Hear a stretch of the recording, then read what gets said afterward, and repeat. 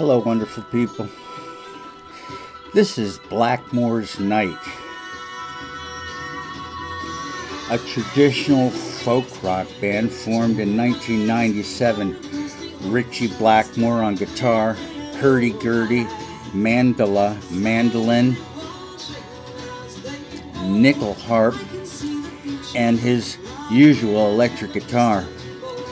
And Candice Night, lead vocalist, lyrically and woodwinds.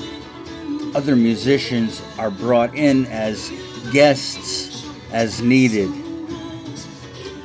There are 10 studio albums.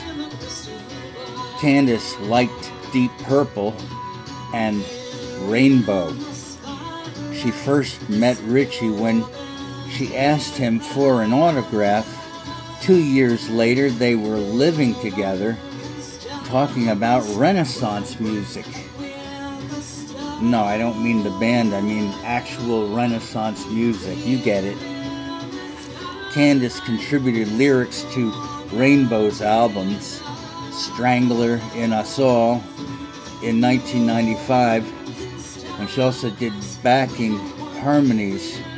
Ritchie and Candice began to work on material that would be the first Blackmore's Night debut LP. This was Shadow of the Moon.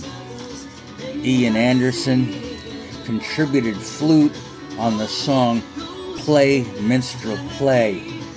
Candice was competent on a number of Renaissance instruments I would imagine that Ritchie Blackmore can play whatever instrument he feels like. The performed at Renaissance fairs and fests and at castle tours in Europe. The audience dresses in period costumes. Blackmore's Night is not beyond comic relief. They play authentic Renaissance music and then break in with an Elvis Presley number. Other covers include Randy Newman, Uriah Heep, Lady in Black, of course, and some of Blackmore's greatest hits, like a Renaissance version of Smoke on the Water. Yeah, I'm not kidding, this is what they like to do. Good for them. The newest albums, All Over Yesterday, is scheduled for a 2020 release. Night and Blackmore married in 2008, and they have a son and a daughter. Now, I did not know that. I knew that Ritchie Blackmore was the big part of the Deep Purple experience for the first, what, eight albums? And then he moved on and had his own band, Rainbow. And they certainly made history with what they put out. But Ritchie wanted to do something different. I was doing Rainbow and this concurrently. Like I said, Ritchie Blackmore, he can play what he wants, right? Certainly a, an enigmatic musical icon, a living legend even. I'm pleased that he's doing stuff that is different than what he does with Rainbow. I was such a big Deep Purple fan back in the days of Machine Head.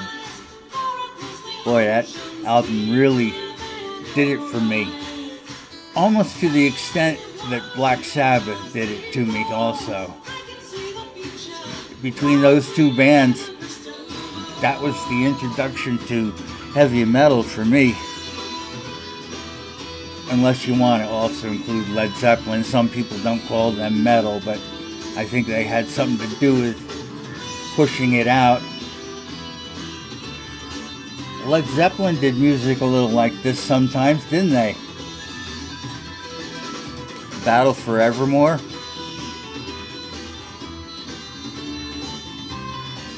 Page on his mandolin.